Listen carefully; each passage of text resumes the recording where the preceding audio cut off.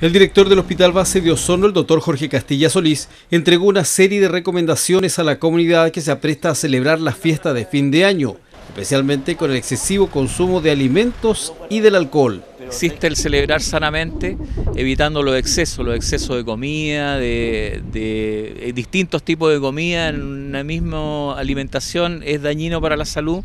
El exceso del alcohol, que es la que al final genera eh, problemas de riña, genera accidentes automovilísticos y todo tipo de, complicaciones de ese tipo.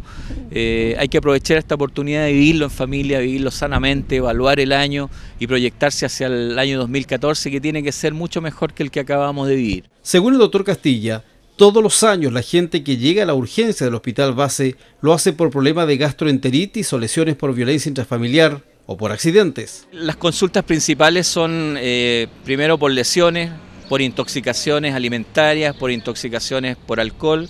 eh, traumatismos por, por accidentes. Y lo que decía, que, los regresos hacia los lugares cuando se celebran en, lugares lejanos a, los domicilios, sea en forma tranquila, pacífica, bien programada, con los vehículos en buenas condiciones y por supuesto que también si hay este, sintomatología que merite una consulta médica, siempre aprovechar las otras instancias que hay. tenemos a nivel local los SAPUS, tenemos los consultorios, los CEFAM, que son digamos un gran aporte para la salud de la comunidad. Otra de las recomendaciones que entregó el doctor Castilla obedecen al mal uso que los pacientes le dan al servicio de urgencia, ya que, según el facultativo, no siempre son urgencias y solo retrasan la labor en caso de una real emergencia. Dar la seguridad a la comunidad que la urgencia siempre va a estar disponible para la población, pero invitar a aquellas eh, personas que eh, por distintos motivos que, que no son relevantes consultan en forma reiterada la urgencia de poder pedirles de que